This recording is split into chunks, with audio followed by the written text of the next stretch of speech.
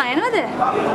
අපි ගෙදර එනවලු කට්ටිය ඔක්කොම. එන උයන්න දැන් ලෑස්ති ඒක. බිරියානි බිරියානි තියන්නේ අපි. මේක ගන්න සැර- මා- මේ- මිරිස් මේ සැර බිරියානි ඕනද නැත්නම් සැර අඩු බිරියානි ඕනද?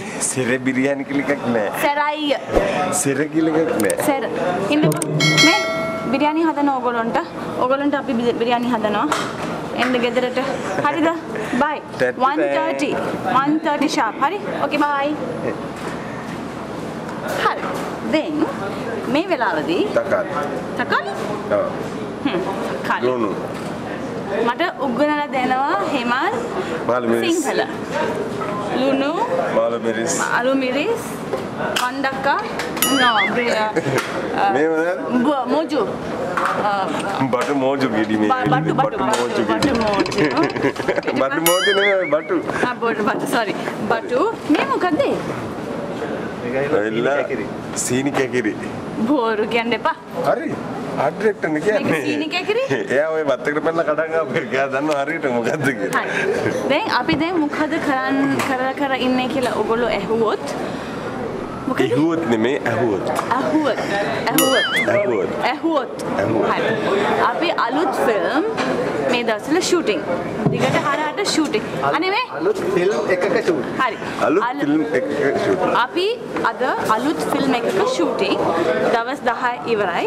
දෙස 11 දවස් ෂූටින් ඉතින් හේමල්ත් එක තමයි හැමදාම ෂූටින් මට එපා වෙලා තියෙන්නේ.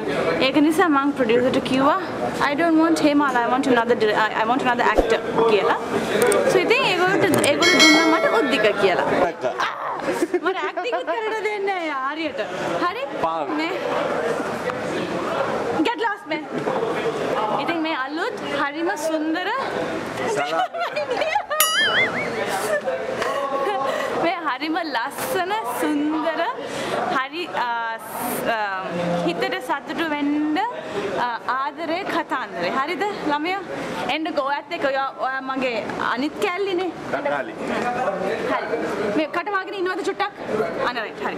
සෝ මමයි හෙමල්වි තමයි මේ- බැඳලා ඉන්නේ? බැඳලා නෑ ඉන්නේ.